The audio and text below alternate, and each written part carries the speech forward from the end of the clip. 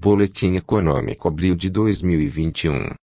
Políticas monetária e fiscal. Confira que a análise sobre as políticas monetária e fiscal produzida pelo Centro de Estudos Econômicos do Instituto para a Reforma das Relações entre Estado e Empresa, na edição semanal do Boletim de Abril de 2021. Os acordos não cabem no orçamento. Política fiscal. Desde 2015, quando teve início o ciclo recessivo com o qual ainda parecemos conviver, são comuns argumentos sobre o crescimento excessivo do Estado diante do tamanho de nossa economia. Discute-se, em diferentes tonalidades, o fato de termos um sistema de proteção social mais benevolente do que poderíamos nos comprometer.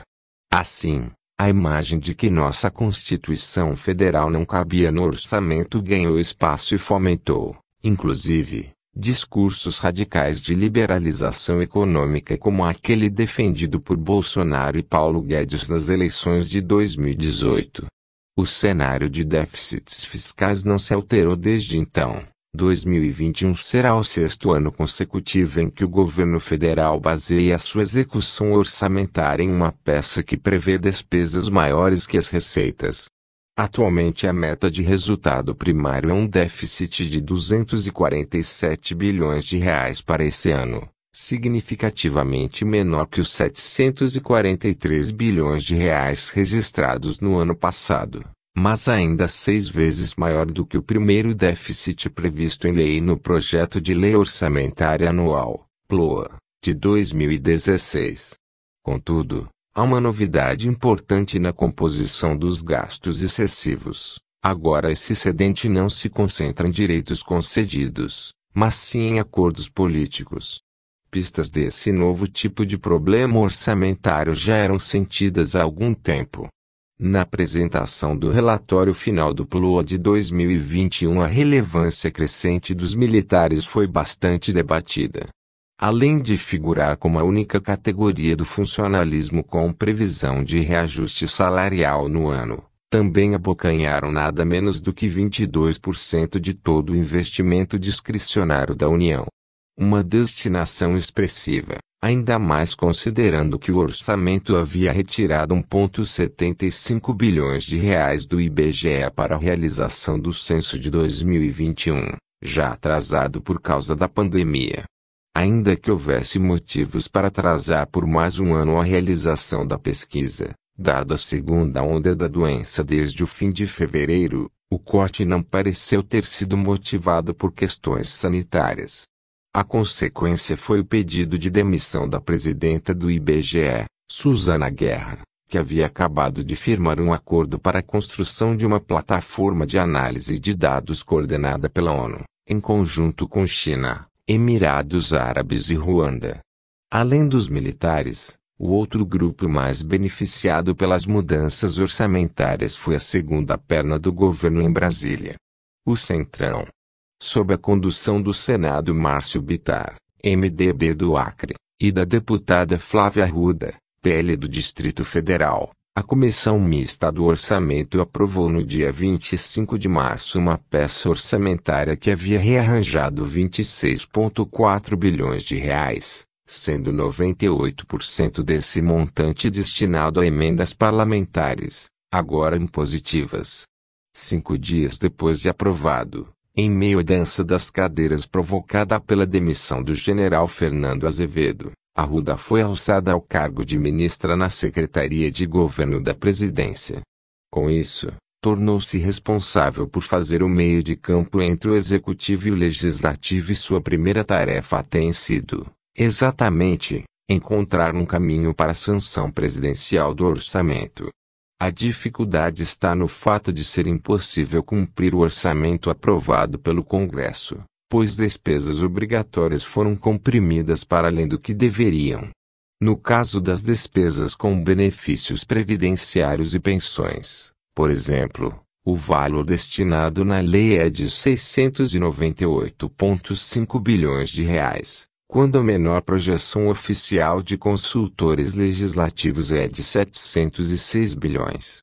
Nesse contexto, O apagão das canetas atingiu o Palácio do Planalto que teme aprovar um texto equivocado e tornar-se inelegível ou, até mesmo, sofrer com um processo de impeachment por pedalada fiscal.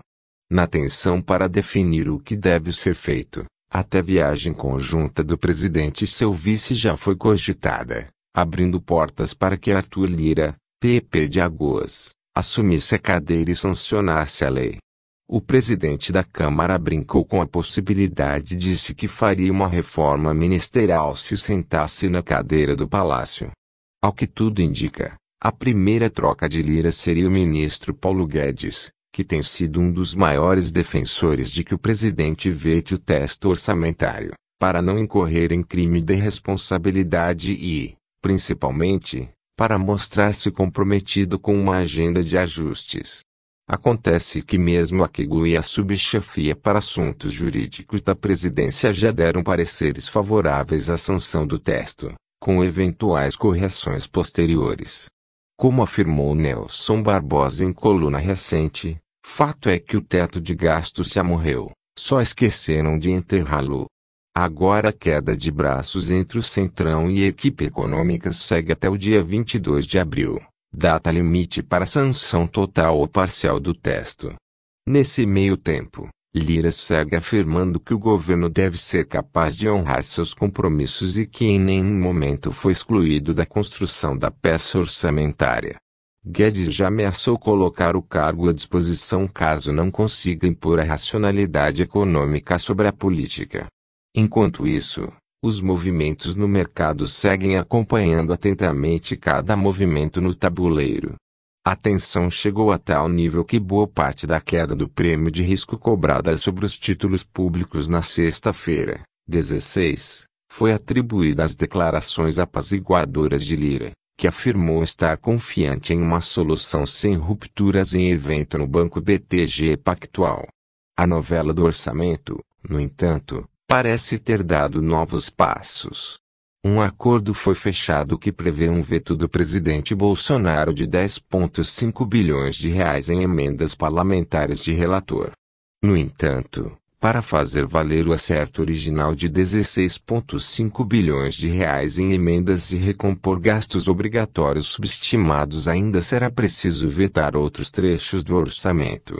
Ao que tudo indica, o alvo adicional de corte serão as emendas de caráter não obrigatórios. Assim, o volume total de vetos deve ficar em torno de 20 bilhões de reais, tornando, então, execuível peça orçamentária. Na segunda-feira, dia 19, a Câmara e o Senado aprovaram o projeto de lei do Congresso Nacional, PLN 2, que prevê a liberação de gastos ligados à pandemia fora do resultado primário. Dessa forma, houve alteração na LDU, Lei de Diretrizes Orçamentárias, para que essas despesas não precisem ter uma fonte de receita prévia, furando, assim, o teto de gastos e o resultado primário. Dessa feita, o montante a ser gasto no ano, por fora das regras fiscais, pode bater a casa dos 100 bilhões de reais, já incluindo despesas que sobraram de 2020. Parte importante disso será gasto com saúde, compra de vacinas, programa de sustentação de emprego formal e de crédito a pequenas e médias empresas. Em que pese a quantidade de recursos extra-teto, o fato dessa medida ter sido constituída com base em um processo de planejamento da questão fiscal e com base na resolução da questão orçamentária, o mercado reagiu com mais otimista. Na terça-feira, dia 20 de abril, o dólar operou em baixa após notícias do fechamento do orçamento e o prêmio dos títulos de longo prazo segue em trajetória declinante. Política monetária. Nesse mês, nosso boletim abordará, primeiramente, a inflação por faixas de renda para março divulgadas pelo IPE e IGP 10 de abril. Ademais, abordamos também as perspectivas da situação econômica internacional notadamente as expectativas quanto à economia norte-americana e suas implicações para a política monetária no Brasil. Por fim, tratamos rapidamente do chamado risco fiscal e de suas implicações para a gestão da política monetária por parte do Banco Central, BC. Segundo a carta de conjuntura do IP, a inflação em março atingiu mais fortemente os setores médios da população, sobretudo a partir da alta de preços nos combustíveis. Para as faixas de renda muito baixa e baixa a inflação em março foi respectivamente de 0,71% e 0,85%. Já para as faixas de renda média e renda média alta, o índice cresceu em 1,09% e 1,08%, respectivamente. Contrariando as movimentações usuais nos períodos anteriores em que as faixas de renda mais baixa foram as mais atingidas, em março as faixas médias foram mais impactadas devido ao aumento nos preços dos combustíveis, uma vez que nessas faixas é frequente a propriedade de veículos automotores. Em abril, o IGP-10 subiu 1,58% frente a 2,99% em março. Os índices que compõem o IGP-10, isto é, IPA, IPC e INCC, cresceram respectivamente 1,79%, 0,87% e 1,24%. Entre as influências mais positivas estão sobretudo os preços ligados aos derivados de petróleo e entre as influências mais negativas se destacam os suínos, 13,48%, o tomate, 10,15%, e a batata inglesa, 10,91%. Sobre a situação internacional destacam-se o crescimento chinês no primeiro trimestre de 2021 e novas previsões de crescimento da economia norte-americana que têm sido revistas para cima, chegando a taxas de crescimento anualizadas próximas a 10,00%. Uma gama de fatores concorrem para a expectativa de forte crescimento nos Estados Unidos não apenas no curto prazo, mas também a médio prazo. No curto prazo, o sucesso da campanha de vacinação é um forte sinal de retomada. Para o médio prazo, o governo Biden lançou o Plano Emprego que buscará injetar na economia, ao longo dos próximos oito anos, cerca de dólar 2,3 tri investimentos públicos nas áreas de transporte, ciência e tecnologia e assistência social. Se aprovado, esse plano se somará aos US dólar 1,9 tri do já em vigor plano de resgate que visa conceder transferências monetárias para famílias de baixa renda. Os recursos para financiar essa gigantesca expansão dos gastos públicos virão de um aumento na carga tributária, notadamente sobre pessoas jurídicas, e, segundo as projeções do plano, compensarão o aumento de gastos ao longo de 15 anos. Tal expansão dos gastos públicos e seu financiamento em período maior do que sua execução levanta dúvidas quanto à capacidade de estrutura produtiva suportar o crescimento sem significante aceleração inflacionária.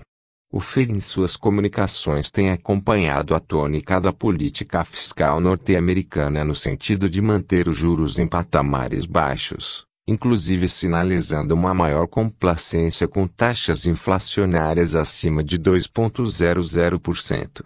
Nesse sentido, se um cenário de aceleração inflacionária nos Estados Unidos se confirmar e como resposta tivermos uma alta nas taxas de juros por lá, o espaço para uma política monetária no Brasil que sustente juros reais em patamares baixos diminuirá.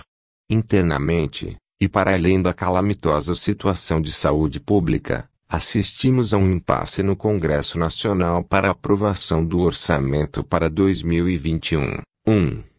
O pano de fundo do dilema gira ao redor de uma inconsistência entre os acordos políticos no Congresso Nacional, notadamente no que tange verbas para emendas parlamentares, e o apoio de parte da sociedade civil, sobretudo do campo mais liberal.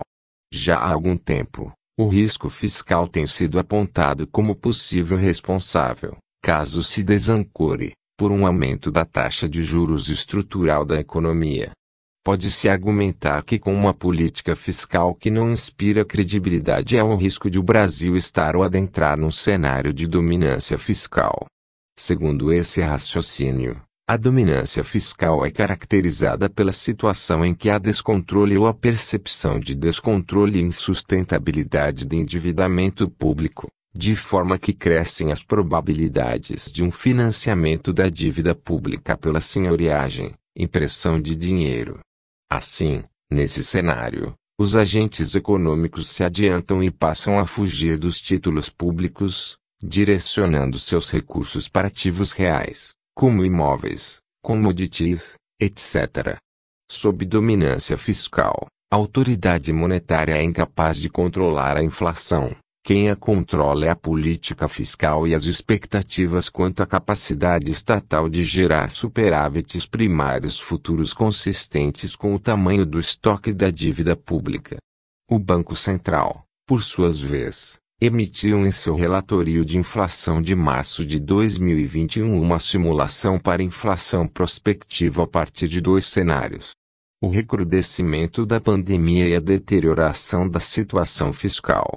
Como se vê acima e embora essa simulação seja feita a partir da ponderação de de pesos para uma piora na pandemia de 50% e uma piora no risco fiscal de 15%, as estimativas do próprio Banco Central não sinalizam que estamos sob ou próximos de um cenário de dominância fiscal como talvez possam sugerir alguns analistas que desenham um cenário cataclísmico. Acreditamos que a política monetária no Brasil ainda está longe de ser direcionada pelas expectativas quanto ao descontrole das contas públicas. No entanto, a percepção dos agentes de que os recursos estatais estão sendo gastos de forma ineficiente à revelia do combate à pandemia afeta os prêmios de risco pagos pelo Tesouro Nacional. Por outro lado, no âmbito da política monetária, pouco se tem discutido sobre reformas necessárias para o aumento de sua eficácia e uma menor contágio de variáveis de política monetária com variáveis de política fiscal como a proposta de depósitos voluntários em substituição às compromissadas, por exemplo. O Boletim de Política Econômica do Instituto para a Reforma das Relações entre Estado e Empresa é produzido pela economista-chefe Juliane Furno e pelos assistentes de pesquisa Daniel Fogo, Lígia Toneto e Matias Rebelo Cardomingo.